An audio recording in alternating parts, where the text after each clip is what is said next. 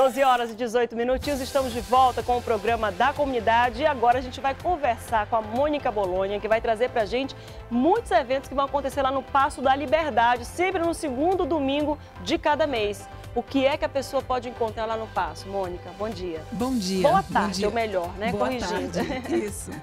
É, a gente está com o projeto de ocupação do centro histórico. A gente está no Marco Zero.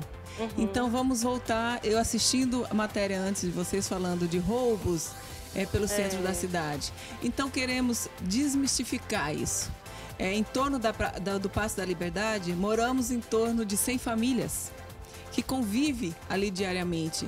Então, o que a gente propõe enquanto Instituto Amazônia, enquanto projeto junto com a comunidade? A gente está propondo a ocupação do espaço. Se não tem ocupação, é ocupado por algum outro motivo. Então, vocês podem ter certeza que todos os esforços estão sendo feitos para que fique iluminado, para que fique é, divertido, com segurança. É um evento gratuito, onde vai haver gastronomia, artesanatos, artes, é, se- é, dessa, dessa Nesse próximo domingo, que já é dia 14, dia dos pais, muita coisa em torno dos pais, exposições de carros antigos, é, espaço para criança, comidinha para criança, comida para todos.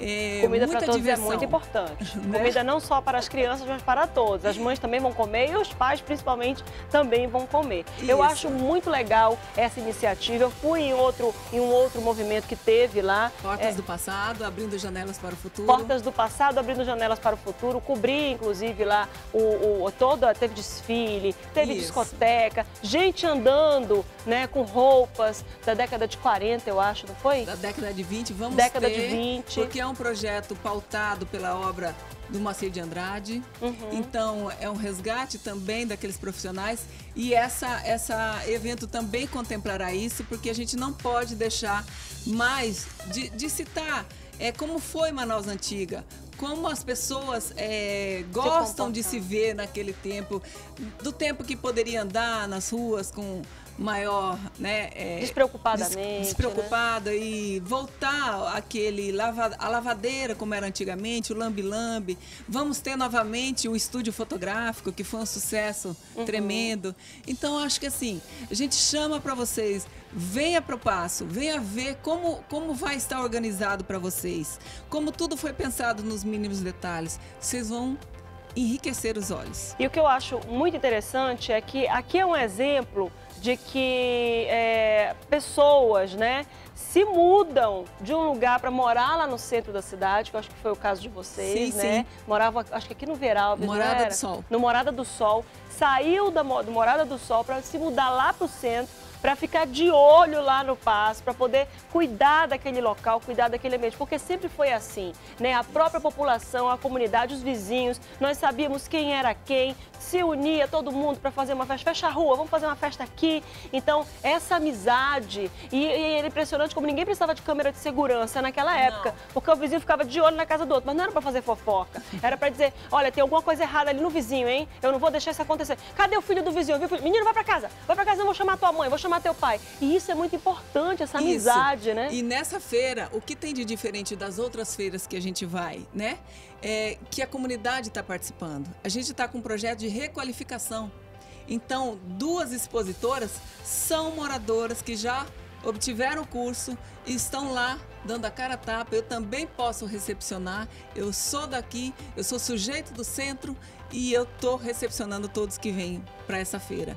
Então esse é o legal. A gente está inserindo a comunidade, porque geralmente eles não têm acesso às, é, às feiras, às festas, financeiramente falando. Então dessa vez eu estou trazendo eles para recepcionar. Eles estão como artistas, tá? O que eu acho extremamente importante, porque você integra Isso. integra todo mundo. Não é Isso. um, um movimento, uma ideia para elite, para determinadas pessoas, para De determinada categoria, de forma alguma. Até porque quem mora no centro da cidade não pode pensar assim, né, Mônica? Não pode, somos nós e nós estamos preocupados em arrumar a casa e permanecer arrumada.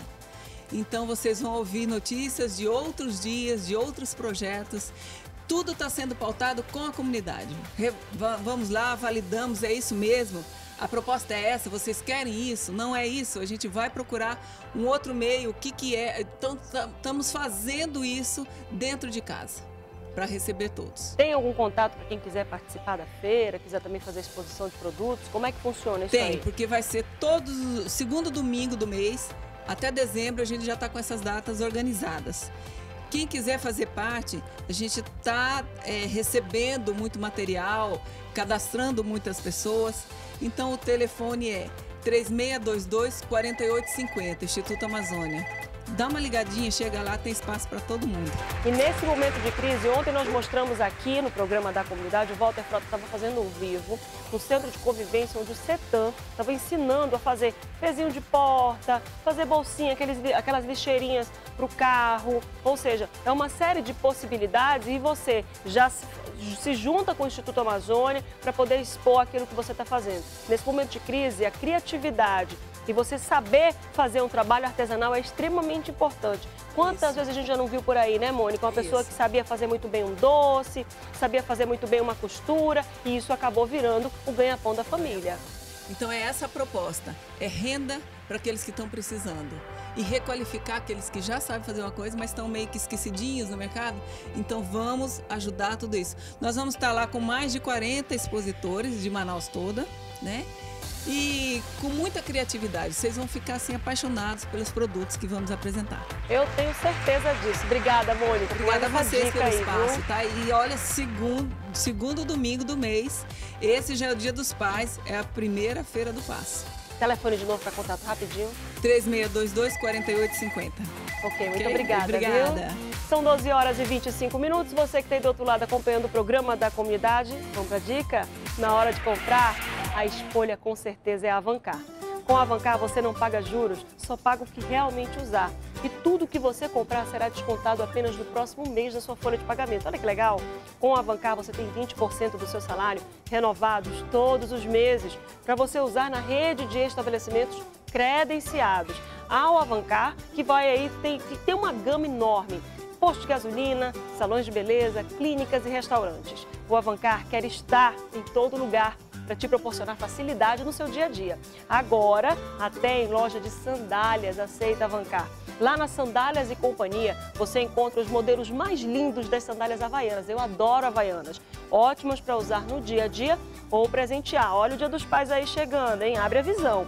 Para quem usa muito salto por muitas horas, como eu, sabe o quanto é relaxante usar essas maravilhosas sandálias, né? Conforto e facilidade de pagamento estão nas sandálias e companhia no Shopping Estúdio 5, lá no Estúdio 5, lá na zona sul da cidade. Na hora de comprar, escolha Avancar. Você, empresário, tem um pequeno ou um grande negócio? Faça parte da rede credenciada Avancar e aumente as suas vendas. Curta Avancar Amazonas no Facebook e siga avancar.am no Instagram. Avancar, com ele você só tem a ganhar. 12 horas e 27 minutos. Você que está do outro lado aí acompanhando o programa da comunidade, minha gente, uma tonelada de skunk 375 quilos de cocaína. Esse é o balanço da apreensão lá no Careiro e quem vai trazer outros detalhes para gente aqui na tela do programa é a Priscila Mello. Priscila, é contigo. Pois é, e depois de denúncias anônimas, mais de uma tonelada de drogas, entre skunk e cocaína, foram apreendidas no município de Careiro da Várzea. O homem de 58 anos foi preso e uma lancha que ele utilizava para transportar os entorpecentes foi apreendida. A gente dá os nossos parabéns à Polícia Federal, né? Ficamos extremamente contentes e felizes com essa apreensão, porque é droga que não chega nas bocas de fumo de Manaus e não vai para outros locais do, do país. O homem que foi preso já tinha duas passagens pela polícia por tráfico de drogas. Os entorpecentes era de origem colombiana e ia ser distribuída para outros estados do Brasil e até para o exterior. Ele disse que ia receber um valor de 50 mil reais pelo serviço. As drogas foram avaliadas em 11 milhões e 500 mil reais. Priscila Melo para o programa agora. Muito obrigada, Priscila Melo. Foi um prejuízo, ó. Palmas para a Polícia Federal palmas ostensivas para a Polícia Federal, porque isso aqui tudo deixou de ir para a sociedade e acabar com as famílias amazonenses. Gente, uma tonelada, 50 mil reais que não valeram a pena porque o cabra foi preso, nem recebeu e ainda se salvou de distribuir essa droga toda para a sociedade. Ainda bem, que trabalho bonito de se ver, viu? Feio pelo, pela apreensão, infelizmente, porque se trata de drogas, mas bonito porque o pessoal não descansa, não para de brigar contra o tráfico de drogas e isso é muito bom. É o que a gente acompanha aqui no programa da comunidade. Show de bola! Você que está do outro lado, a gente segue com a ronda policial do programa da comunidade. A gente vai para o intervalo rapidinho e daqui a pouco a gente está de volta e você fica com essas imagens da apreensão do ano. Até agora, pelo menos, viu? A apreensão de uma tonelada, 375 quilos de drogas, avaliadas em 11 milhões e 500 mil reais. A gente volta já já.